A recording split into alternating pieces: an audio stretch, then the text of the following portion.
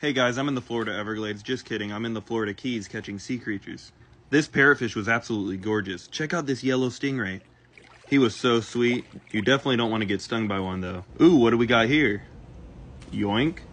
It's a Sally Lightfoot crab. They are absolutely gorgeous. This is one of my favorite sea creatures, a Caribbean reef octopus. I love puss. Check out this gorgeous porcupine fish. This guy was absolutely amazing. Right here we got brittle stars. Similar to starfish, but completely different. Check out this damselfish. He would make a great addition to my aquarium. Check out this Sergeant Major damsel. Another great addition to an aquarium. Oh, what do we got here? Yoink. This is an absolutely massive blue land crab. And right here we got a moray eel. I'm using a net because I don't like it when they bite a chunk out of me. And look, we caught a little parrotfish. This guy eats coral, so he won't go in my tank. This brittle star is absolutely huge. Check out his arms. So cool. This is the bluest blue crab.